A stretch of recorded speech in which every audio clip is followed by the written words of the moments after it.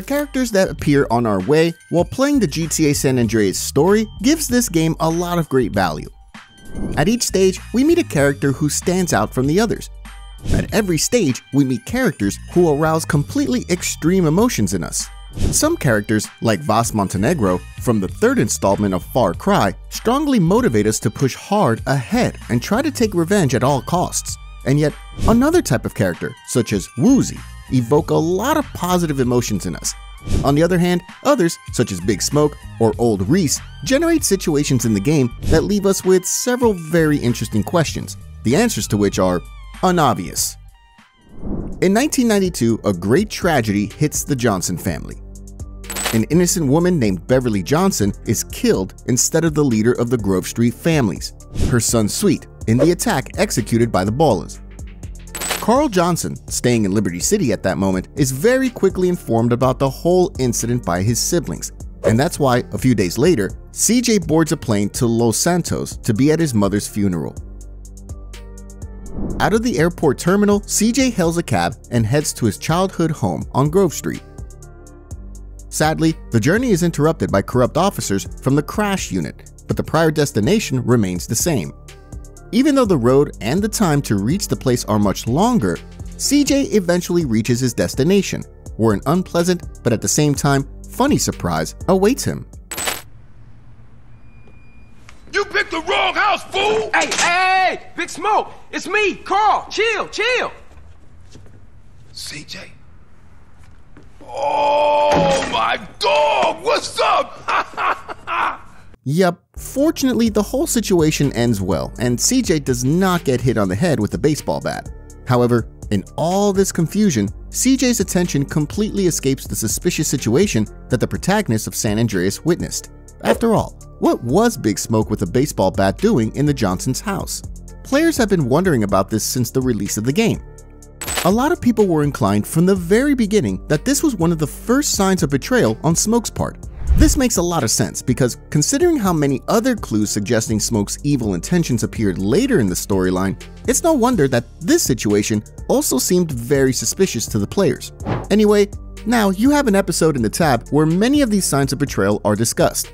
The problem is that there are many reasons to show that this whole situation was misinterpreted. While Big Smoke's presence in Johnson's house is very suspicious indeed, Big Smoke had no intention of committing any murder in this place. Going back to the merits, there are many arguments for this, and they're very accurate. Many players from the very beginning said that Smoke was waiting for Sweet at his house to kill him. In the beginning, yes, one could think so, but only with the simultaneous skipping of many important things that clearly show that it was not so at all. First, notice how Big Smoke reacts to CJ. You picked the wrong house, fool! Hey, hey. The man speaks impersonally to the guy who just broke into Johnson's house. Not a word about Sweet or CJ here. Rather, it looks as if Big Smoke is simply surprised that someone has entered the house and, making almost no noise, moves around the house. Of course, this is not an indisputable point to make. You could say that Big Smoke was lurking for Sweet, but CJ surprised him.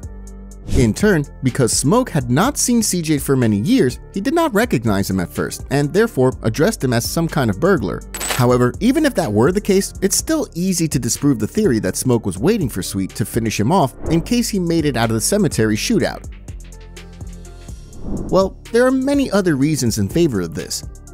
One of the best arguments is whether an assassination attempt on Sweet would be a good idea, considering that both Sweet and CJ could survive the setup at the cemetery and get back home together, which would make things much more difficult for Big Smoke.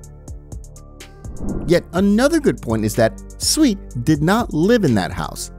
When the gentleman returned during the Sweet and Kendl mission on Grove Street, Sweet went straight to his house instead of entering his mother's house at least for a moment. Also, even assuming that Big Smoke wanted to kill Sweet, he should rather ambush him in another house, specifically in Sweet's house. Moreover, if Big Smoke wanted to murder anyone in this place, he would point his pistol at someone, which, by the way, we know he had in his pants and what turned out soon after. Of course, you could say that Big Smoke didn't want to make noise, but a baseball bat seems to be an even dumber idea.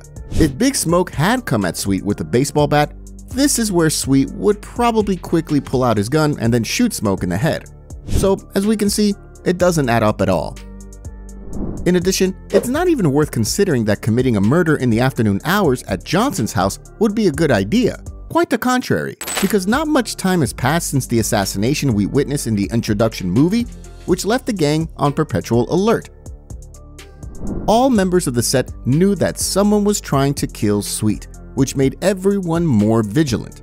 Of course, some members of the families might have been bribed, but certainly not all of them. So it would be impossible to murder Sweet on Grove Street at this point without anyone noticing. If Smoke were to hit Sweet or CJ with a baseball bat, the scream of both men would be huge. A group of bystanders would quickly be found on the spot, while family soldiers could rush to the house for rescue. Summing up all this, we see perfectly well that ambushing Sweet at Johnson's house alone and in the afternoon didn't make any sense. This kind of action was too risky. There were so many unfavorable circumstances that you would have to be a total idiot to try your luck in this particular situation. What's more, there's only a slight chance that such an action would end successfully for Smoke. Going further, some people believe that Smoke wanted to plant the bug to find out information, for example, about where Sweet would be in the coming days to potentially set up another ambush for him. However, we can rule that out as well. First of all, if Smoke wanted to plant a bug, he should rather do it at Sweet's house, because this is where Sweet spends his time the most and has the biggest amount of meetings, which we witnessed during the missions. Secondly, he wouldn't have to be completely alone. The bug could be planted fast enough that he could do it while being in Sweet's house with him when he went to the toilet, and thirdly, subsequent missions in the game show that Smoke continued to try to convince Sweet to get into the crack trade so that he wouldn't have to be killed. Generally speaking, the issue of planting bugs is definitely out of the debate. Another possibility is that Big Smoke was looking for something. However, this might also be ruled out quickly because it's unlikely to determine what he was exactly looking for. Families didn't have any good weapons or money or anything in general that Smoke might want to take. And of course, bearing in mind that he was looking for something specifically at CJ's mother house, it only makes this option highly implausible. So what was Smoke doing at the Johnsons' house? To answer this question, we need to analyze almost the entire day of the funeral. CJ was supposed to fly to Los Santos that day, take a taxi, and arrive at his home on Grove Street, where his friends and siblings were waiting. When CJ would walk into his house, he would probably have left his suitcase there, and then he, Sweet, Ryder, Big Smoke, and Kendl would have gone to the funeral together. However, those plans were ruined by Crash, who decided to have a little chit chat with CJ. Thanks to this, CJ was framed for the murder of Officer Pendlebury and unintentionally started another beef with Sweet, who was pissed at CJ for being late for his own mother's funeral. When the main character of the game was in the moving police car with the crash unit, at the same time CJ's friends decided to go without him to the funeral that was about to take place. Big Smoke, on the other hand, offered to stay at home and wait for CJ. As soon as he appears on Grove Street, Smoke will take him to the cemetery to meet the rest of his friends. And while this story sounds pretty disappointing compared to the story of Smoke ambushing Sweet at Johnson's house, it's much more realistic. Big Smoke's sole purpose in this situation was to ensure that the people most threatening his operation were in one place when the Ballas committed in attack. No one was expected to survive this ambush except for Big Smoke and maybe Ryder. So, in the end, Smoke had to attend CJ's mother's funeral. If he hadn't, and Sweet and CJ had survived, Smoke would have gotten their attention and could have been in big trouble. Not only would the Johnson siblings not be happy that Smoke was not at the funeral, and thus missed an important family event, but it would also be very suspicious.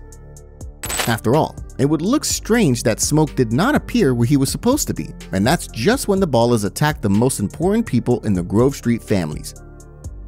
Although, considering that no one blamed Smoke and Ryder for not showing up during the house party mission when the Ballas invaded Grove Street, anything can be expected. However, at least in theory, it sounds bad. A Ballas posse's about to run up. They're headed up here right now. Looks like we backed them Ballas against the wall, huh? Hey, CJ, strap up. It's Grove Street.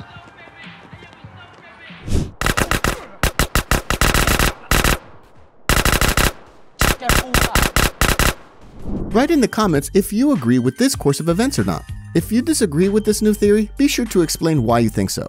In the meantime, thanks for watching, take care, and see you soon.